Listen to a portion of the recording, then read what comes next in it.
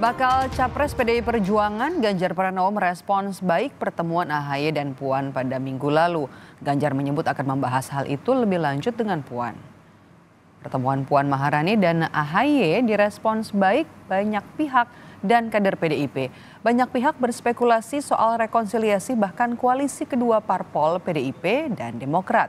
Saat ditanya soal hal ini, Ganjar Pranowo hanya menjawab singkat.